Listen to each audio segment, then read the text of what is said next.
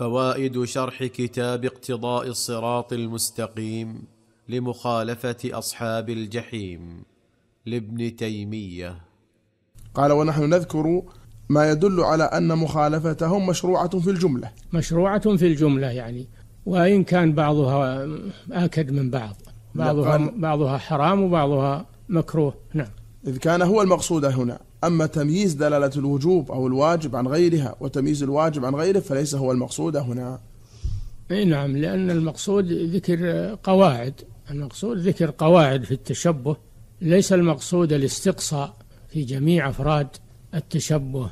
فإن هذا كما سبق في كلامه رحمه الله أن هذا يستدعي كلاما طويلا ويستدعي مؤلفات كثيرة.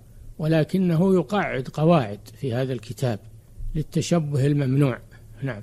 قال رحمه الله وسنذكر إن شاء الله أن مشابهتهم في أعيادهم من الأمور المحرمة فإنه هو المسألة المقصودة بعينها وسائر المسائل إنما جلبها تقرير القا إنما جلبها تقرير القاعدة الكلية العظيمة المنفعة. نعم. ومن الأمور التي يحرم التشبه بهم فيها وهي المقصودة تشبه بالكفار في أعيادهم.